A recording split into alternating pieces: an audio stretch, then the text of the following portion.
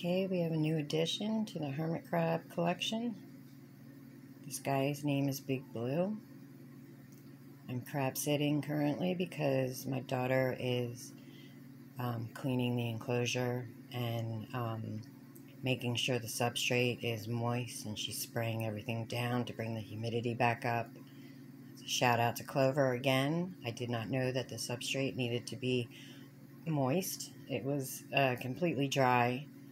They still burrowed, but um, now my daughter knows and she's in there right now doing it.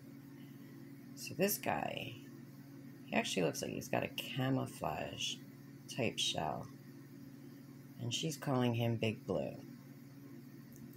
I've not seen him, but let's see if we can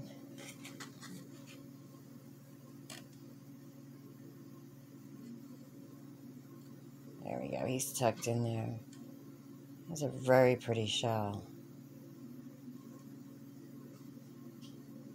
I really, really don't want to upset him.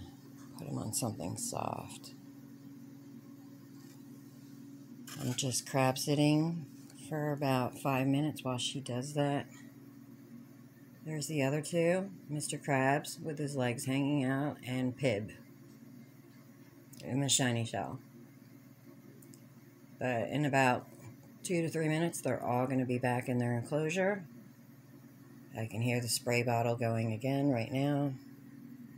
But he is, he is a, he's a lot bigger. He definitely has like a camo type thing going on with his shell.